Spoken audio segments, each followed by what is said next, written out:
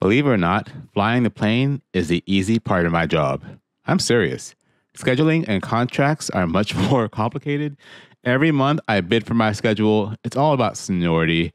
Uh, my airline uses a thing called PBS. It's called Preferential Bidding System. But first, some quick facts. I've been here about five years. I'm in the top 20% of my status. If I wanted to, I could be captain, but I choose not to be. I like my quality of life. Um, uh, PBS, you tell the computer what you want. It starts with the very first pilot and goes down the list. You know, you tell it where you want to go, days you want to work, overnight, start times, end times, or actual trips you want to bid. You put it all into the computer. We have different layers, like you have seven different ideal situations.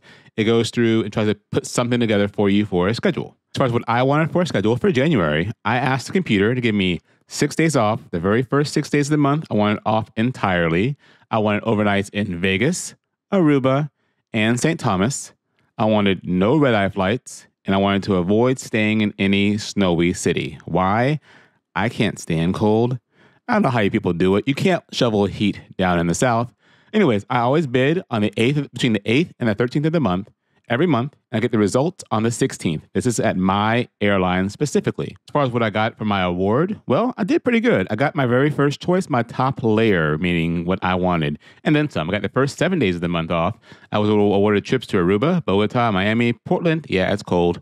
Cancun, San Francisco, and I have overnights in Philly, but that's just the gateway to Aruba. So it's kind of what I had to do to get my Aruba trips. Um, not too bad overall. Now I am working on Sundays, right? But that's again, I get my full seven days off that I needed for my family outing we're doing. Um, and you know, I get 17 days off next month. 17 days off and 74 hours of pay as it stands. But if you know me, you know I trip trade. So what you see here, except for the Aruba trip, I'll do at least one of those, might not be what I actually do. Seniority is everything at the airlines. The more senior you are in various types of seniority, the more you get what you want. Have a fabulous day. And as always, thank you for stopping by.